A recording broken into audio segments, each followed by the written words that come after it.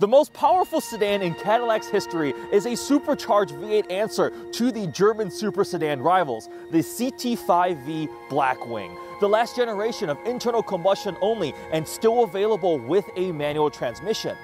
The Blackwing name requires a little bit of explanation. So Blackwing used to be an engine, but it's now a trim level. CT5 replaces the CTS, ATS was replaced by the CT4. There is still a V, but it's now what the V Sport used to be, the mid-tier. The true top-tier CTS V replacement is the Blackwing. Are you confused? Maybe a little bit. All you need to know is this is the most badass American sedan ever made and the top-tier Cadillac performance sedan.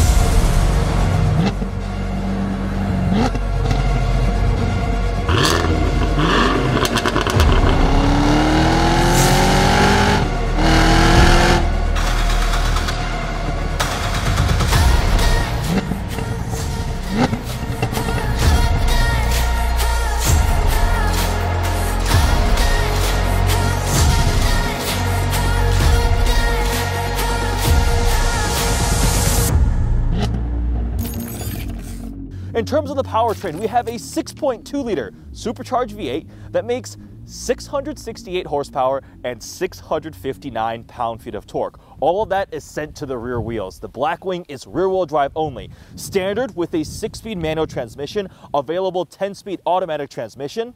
The auto will do 0 to 60 in 3.4 seconds, the manual 0 to 60 in 3.6 seconds, up to a top speed of over 200 miles an hour, and this thing will pull over 1 G's in lateral acceleration. It is an absolute performance monster. In terms of exterior styling, this is the Blackwing, so it's the top tier most aggressive trim. Functionally, the front end is wider to accommodate the wheels and tires, so the fender here in the front end is more aggressive and actually wider than the regular CT5 and CT5V. You can see that here. There's a lot of V badges on it, and actually not that many Blackwing badges.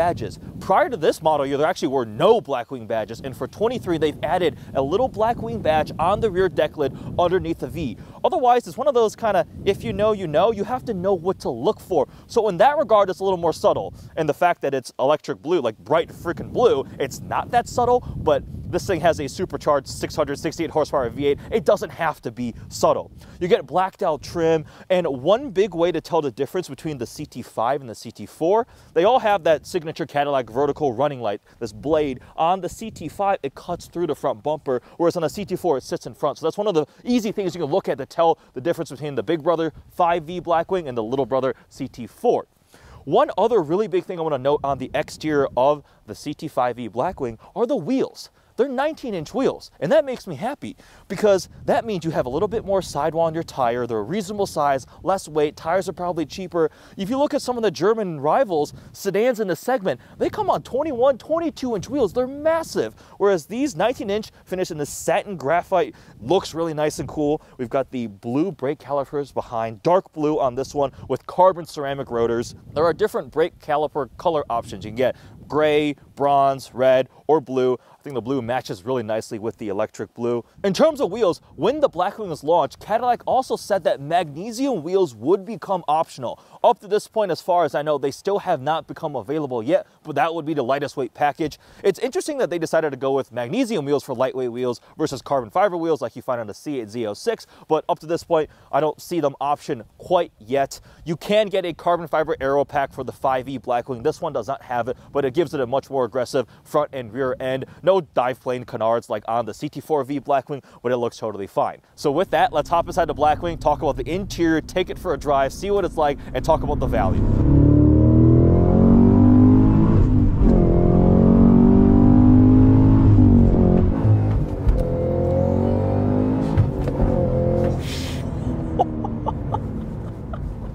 this thing is so fast. All right, now we're on the road in the car. Let's talk about the interior of the Cadillac CT5V Blackwing. Some of the highlights, we have a 10-inch infotainment screen, which has wireless CarPlay, Android Auto, it's pretty good, wireless phone charger below. This one has a 16-speaker AKG sound system that is pretty nice, and as the top tier of Blackwing, we have various carbon fiber, leather, suede trim, full suede headliner. These seats are the regular seats. You can get like carbon fiber back seats, but they all still come with heated and cooled and massage. Overall, the interior is nice, but is it as nice as the German rivals? Absolutely not. If you go into a equivalent BMW, an AMG, or an Audi, I think the materials are going to be a touch nicer. It's going to be more luxurious, but that's not the main focus for the Blackwing. That being said, one of my favorite parts of the Blackwing interior is the full 12 inch digital cluster. Really cool info here. It's reconfigurable. I'm currently in track mode, which puts the tachometer across the top. You can go to tour, you can go to sport. A lot of really nice graphics on there, and it's very well done in my opinion. Space wise, this is quite a bit bigger than the CT4V Blackwing as the CT5, right? So interior space in the back, leg room, all that type of stuff is much better. It feels much more open and spacious. A couple other really cool touches that the Blackwing gets. For the manual, we have this 3D printed metal insert on the shift knob, so that is really cool. And then there's some buttons for interfacing how this thing drives. So we have a rev match button. That allows automatic rev matching. So if you turn it off, I'm in fourth gear now, I can do it myself. There's third gear, second gear, or if I turn rev matching on, the gear indicator in the cluster turns yellow and you get automatic rev match downshifts. So fifth gear, right? I'm cruising along in fifth gear. I'm gonna downshift a couple times.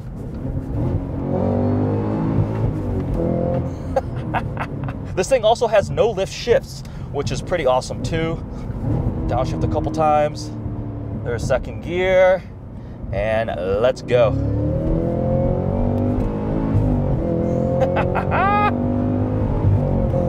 Holy crap. So you just keep your foot planted, clutch in, next gear, and keep going. This thing is so fast. And then to the right, we've got traction control button, which you actually, I don't touch because on the steering wheel, we have the PTM dial. So performance traction management in the higher end GM performance vehicles, you can toggle up through inactive, just means it's totally on. There's a wet setting, there's dry, sport, race one, race two, because this is a track capable V Series Blackwing, right? I've left it in inactive this week. I did put it in the wet for a little bit of shenanigans, but it's cold. We're on winter tires, so Sottozeros, but in the dry, if you're on summer compounds, on the track, you would want to dial through PTM and it allows all sorts of different parameters of slip and things like that. And then we have the actual built-in drive modes, which you can toggle through, and it's like the factory configured one, but then there's two that you can customize to your liking. There's my mode, which you toggle through to get to that, but my favorite is V mode. So it's conveniently just on the steering wheel as a button. You can change steering, suspension, engine shift, brake feel, engine sound, and PTM. And it's like a quick button that you can customize. So what do I have it set to now? I have steering in the medium heavy, suspension in the softest, right? Because we're on the road, not on the track. So I wanted to absorb the bumps and still ride comfortably. And you can just reconfigure it how you see fit to customize your V mode. It's a really cool button. The Z Z06 has it too. It's the Z button. I think the Corvette regular Stingray also has it. So big fan of that. So overall, in terms of the interior, it's got nice touches, right? Leather, suede, carbon fiber, nice tech creature comforts, heated steering wheel. We've got heated cooled seats, massage seats. But the big takeaway is it's not quite as nice as the Germans. The price does reflect that difference. We'll get to the value later on in the video. I like the digital cluster quite a bit, and it has enough. It has enough to satisfy me for a six figure performance vehicle, but it's not like the best of the best. I'm gonna open the window slightly. Exhaust valves are open.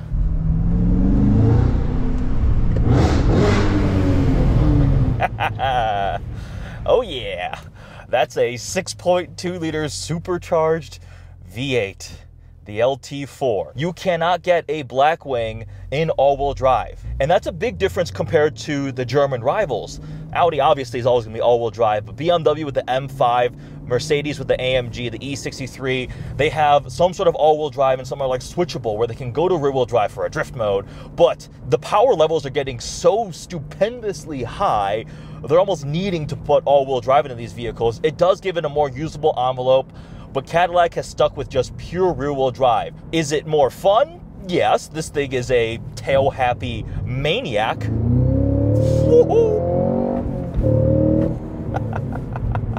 In the segment, my two favorite performance sedans now are going to be this Blackwing and the M5 CS. But they feel totally different in terms of personality, right? The manual is a big difference. I have not driven a 10-speed auto-equipped Blackwing, but the manual to me just puts it above everything else in terms of driver engagement and enjoyment, coupled with the overwhelming wave of torque that this thing puts out it just you have a dumb grin on your face the entire time. I've been averaging under 15 mpg this whole week and it's been worth it because it's ridiculous.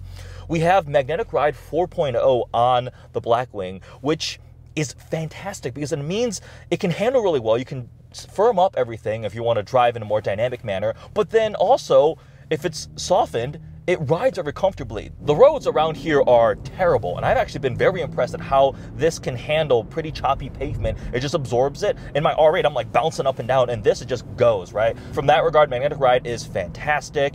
Curb weight for the manual is just over 4,000 pounds, so that's still pretty good too. Weight is something that is really hitting cars in general, right? But this segment, an RS7 is like almost 5,000 pounds. That blows my mind. And the wheels are a big indicator of that, right? The RS7 now comes on 21 inch wheels with 22 inch wheels as the upgrade option. The Blackwing comes on 19 inch wheels. It looks fine to me, and it means you get a little more sidewall. Tires are probably cheaper. They don't need to be massive, blingy 22 inch wheels. These wheels still fit carbon ceramic brakes behind them. They're a $9,000 option, and this one has has the carbon ceramic brakes, but they've been very livable. Even in the cold, when I first leave in the morning, I don't notice any squealing, nothing unpleasant that you may associate with high performance carbon ceramic brakes. Now, they are $9,000 and this is a big luxury sedan. Yes, it is track capable. This thing is just so fast. Like, go to jail fast.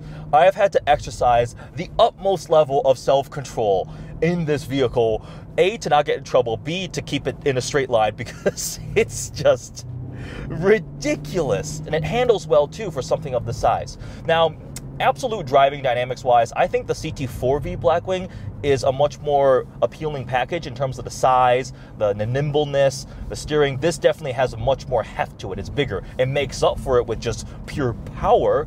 So I like the 4V Blackwing in that way, but the 5V Blackwing is just another tier up terms of driving, I'll take this or the M5 CS. But the M5 CS is almost too extreme. I spent a lot of time in the M5 CS. Took an eight hour drive um, on a road trip, and my back was not happy because those carbon buckets are just so extreme. They look cool, they're fun for a little bit, but after two hours, your back is numb. You want to call your chiropractor, and it's just not comfortable. And it rides so ridiculously firm, and it's just so compromised because it's pursuing track capability. Whereas the Blackwing has more of the dual personality. It can do both. The M5 CS is faster, I think, in a straight line because it all-wheel drive, and that thing is, I think, a bit underrated, right? In terms of power, not in terms of prestige or perception. It's underrated in terms of power, but it's also way, way more expensive. So that gets us to talking about the value Oh, you saw that, right? Just whoop. the Blackwing starts at right on $90,000. Manual is standard. You can option in an automatic transmission. Please order this with a manual transmission because it's a phenomenal manual. This Tremec paired with this clutch, shifter feel, all of it. I love it. It's so good. $90,000 base. That's way cheaper than the competition, the Germans. When you option it up, this one doesn't have the carbon exterior. It's got reasonable options. The carbon ceramics definitely bumped it up. This one is like 107.8, so just under $108,000 as option. Most Blackwings I see are between like the 105 to maybe 120, 130 ish range. Now, if you look at the German rivals, E63 AMG S, RS7, those are 130 to 150. M5 Comp, M5 CS, we're talking 150 to like 180 for maybe a CS. So this starts looking like a ridiculous supercharged V8 bargain.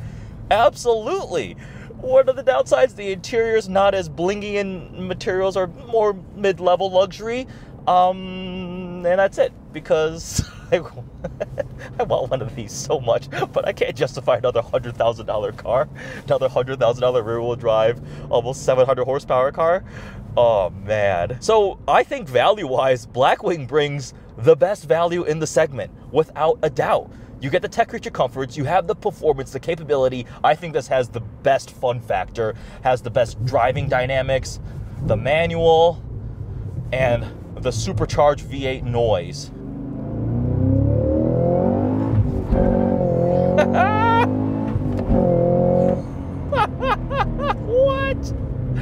Winter tires and the cold.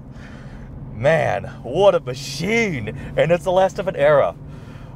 What a way to go out. I think they may do like a mid-cycle refresh, maybe a couple special editions or something, but generation-wise, I think this is the last iteration of an internal combustion V definitely probably the end of the manual. Cadillac is very heavily moving into the EV space now with the upcoming flagship Celestiq. You've got the Lyriq now, and I'm sure Escalade will go electrified. But imagine an Escalade V, a CT5V Blackwing, and a C8 Z06. That would be the ultimate internal combustion V8 GM lineup. Like, what a set of cars. Like, wow.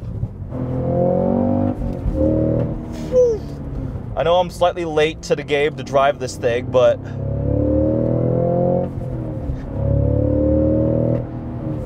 I now understand why everybody loves the CT5V Blackwing so much. This thing is just a phenomenal combination of the best ingredients. One of the most powerful and ridiculous engines you can buy that supercharged 6.2 V8, just a mountain of torque, a fantastic manual transmission, great chassis setup. It rides well. I like the way it looks. It sounds angry all the time.